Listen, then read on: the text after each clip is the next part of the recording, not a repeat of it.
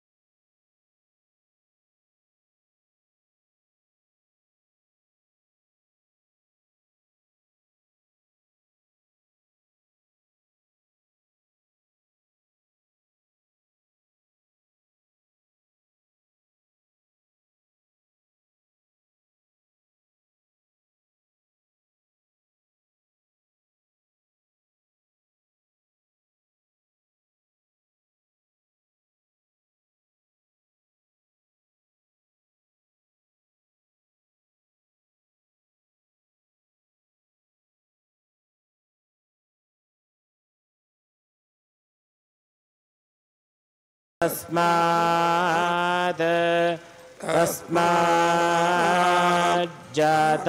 अजावयः य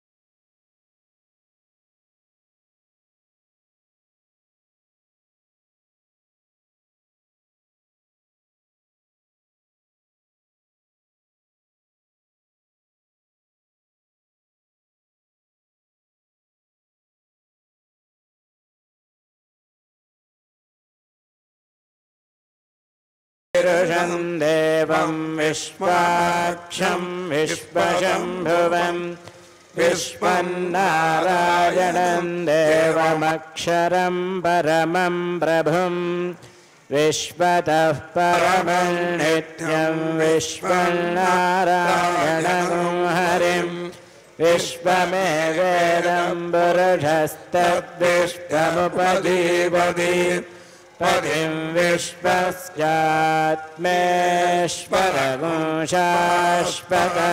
शिवमच्युतम् नारायणं महाज्ञेयं विश्वात्मानं परायणम्। नारायणपरं ब्रह्म तत्त्वं नारायणः परः नारायणपरो ज्योतिरात्मा नारायणः परः। यच्च किञ्चित् जगद्यस्मिन् दृश्यते श्रूयते वा अन्तर्बहिश्चरत्सर्वं व्याप्य नारायणस्थितः अनन्तमव्ययं कविगुं ्रान्तम् विश्वशम्भवम्। पत्मकोशप्रदेकाश हृदयम् जात्यथोमघम् अधनिष्ठ्या विदस्त्यानाभ्यामुपहृतिष्ठति हृदयम् तत् महत्। सन्ततगम् शिलाभिस्तुलम्बत्याकोशसन्निभम् तस्या सुशिरगुं सोऽक्ष्मन्दस्मिन् सर्वम् प्रतिष्ठिरम् तव्यमध्ये महानग्निर्विश्वार्चिर्विश्वः సభృగ్విభజంతిష్టన్నారమజర కవి ఆహా మలయప్ప స్వామి వెంకటాచలపతి ఏమయ్యా నీ వైభవం? మిగిలిన ఉత్సవాలైనమో అనేక ఆభరణములతో దివ్యాభరణంతో తిరువాభరణంతో వజ్ర వజ్ర కిరీటముతో రత్న కిరీటముతో రత్న ఖచ్చితమైనటువంటి మణిమాణిక ఆభరణములతో దర్శనమిస్తావు. ఈ ఒక్క వసంతోత్సవంలో మాత్రము ఏ ఆభరణములు నాకు కాదు భక్తుల మనస్సులో ఉన్నటువంటి ఆధ్యాత్మిక దివ్యాభరణములే నాకు ప్రధానమని భావన చేస్తూ చందన చర్చిత కిరీటధారివై దర్శనమిస్తున్నావు కదా. ఆ చందనానికి చల్లదనము నీ తిరుమేని స్పర్శ వలన కదా కలిగింది స్వామి. చందన గంధలేపనము చల్లదనంబును మించునట్టి అన్నటువంటి విధంగా చందనముతో చక్కగా కిరీటధారిగా విరాజిల్లుతూ ఉభయ దేవేరులతో కలిసి తులసిమాలలతో వేయించేసి దర్శనమిస్తున్న నిన్ను చూచి ఆ పెరియాడవారులు ఎంత ఆనందపడ్డారో ఎంత మహదానందపడి పల్లాండు పల్లాండు పల్లాయి రత్తాండు పలకోటి నూరాయరమని చక్కగా వినిపించగానే వారికి తులసీవనములో పూర్వపల్గిని శ్రీవిల్లి శ్రీవిల్లిపుత్తూరులో గోదాదేవి లభించింది. సుడికుడుత నాచ్యారనే తిరునామంతో పిలువబడే తల్లి. ఆమె కూడా తులసిమాలలతో స్వామి కైంకర్యం చేసి తులసితో స్వామిని అర్చించి స్వామివారి అనుగ్రహాన్ని పొందినటువంటిది. అలాంటి పరమ పవిత్రమైనటువంటి తులసిమాలలతో వేయించేసినటువంటి మహానుభావుడు నువ్వు. కులశేఖర్ల వారు అంటారు కులశేఖరాల వారు. జిహ్వగ్రాణ ముకుంద పాద తులసీం. శ్రీ మహావిష్ణు యొక్క పాదముల చెంత ఉన్న తులసిని ఒక్కసారి ఆస్వాదించి నమస్కారం చేసుకుంటే చాలట. తులసిమాలతో ఉన్న స్వామివారిని దర్శిస్తే శ్రీరామదాసు కూడా భక్తితో చారు తులసీ దళధామ రఘురామ అని పిలిచాడట. అలాంటి తులసిమాలలతో వేయించేసిన స్వామివారికి వసంతోత్సవ వైభవంలో తిరుమల దివ్యక్షేత్రంలో ఈ తిరుమలలో జరిగే కైంకర్యాన్ని ప్రతి ఒక్క భక్తుడు తమ ఇంట ఉండి తాము ఉన్న చోటు నుండి వీక్షిస్తుంటే వసంతోత్సవంలో కృపా కటాక్ష వీక్షణములను చక్కగా స్వామివారు అందిస్తారు. గోవిందా అని పిలిస్తే ఆయనకు ఆనందం. ఆనంద నిలయవాస అంటే పరమానందం. వెంకటేశ అంటే వేమ్మనగా పాపములను కడతీ పోగొడతాడు శ్రీనివాస అంటే ఐశ్వర్యాన్ని ఇస్తాడు. ఏది తరగనిదో శ్రీనివాసుని సన్నిధి వెలకందని పెన్నిది కాబట్టి అలాంటి విధానంతో. అందుకనే నారాయణ నీ నామము గతీయకు కోరికలు నాకు కొనసాగుటకు ఉంటాడు వారు నారాయణ అనేటటువంటి పేరులో ఉన్నటువంటి గొప్పతనం చాలా విశేషమైనటువంటిది. అలాంటి ఆ శ్రీమన్నారాయణుడే వెంకట నారాయణుడిగా విరాజిల్లుతూ ఇక్కడ దర్శనమిస్తూ ఉన్నాడు. అలాంటి స్వామివారికి అర్చక స్వామివారు వసంతోత్సవంలో సకల ఉపచారములు సమర్పించిన తర్వాత ఆనంద కర్పూర నీరాజనాన్ని సమర్పిస్తున్నారు. మంగళమయ్య శ్రీరమణ మంగళమీయద లోకపాలక మంగళమాది దేవ జయ మంగళమార్త జనావన హరి మంగళమూర్తి మంగళము. మంగళాశాసన పరై మదాచార్య పురోగమై సర్వైశ్చ సకృతాయాస్తు మంగళం. స్వామి ఎక్కడెక్కడ ఉండి ఏ ఏ భక్తులు వీక్షిస్తున్నారో వారందరి ఇంట వారి వెంట వారి చెంత ఉండి వారికి ఆనందాన్ని కలిగించవయ్యా ఆనందం లేవాస తులసి వనమాల అని అంటూ తులసి వనమాల గోవింద గోవింద అని వేడుకుందాం. తదుపరి నమో సనంతాయ సహస్రమూర్తయే సహస్రపాదాక్ష శిరోరు బాహవే సహస్రనామ్నే పురుషాయ శాశ్వతే సహస్రకోటి యుగధారణే నమ. ఇది బ్రహ్మవాక్కు సహస్రనామాకి ఎదురైన స్వామివారికి సహస్రధార కైంకర్యం నిర్వహించబోతూ ఉన్నారు. వేద పండితుల వేద నాద నీరాజుల మధ్య బ్రహ్మ పేరు చెప్పాం మనం అక్కడ ఎదురుకుండా బ్రహ్మ కనపడుతూ ఉన్నాడు. తన తండ్రికి జరిగేటటువంటి వైభవాన్ని చూచి ఆనందపడుతున్నాడు. ఏ కుమారుడైనా అలాగే ఆనందాన్ని పొందుతాడు. అటువంటి ఆనందాన్ని కలుగుతూ ఓం నమో వెంకటేశాయ.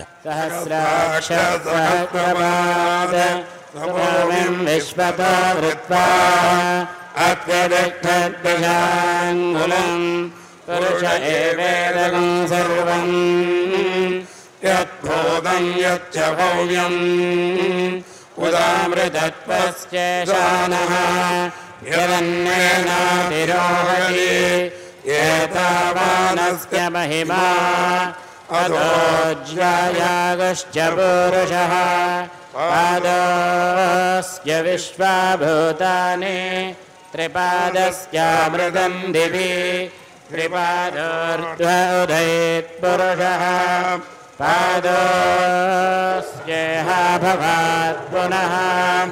ततो ततोऽद्य अनन्तरायाय सर्वस्तोमोतिरात्र उत्तममहर्भवति सर्वस्याप्यै सर्वस्य जित्यै एव तेनाप्नोति सर्वं जयति हरिः ॐ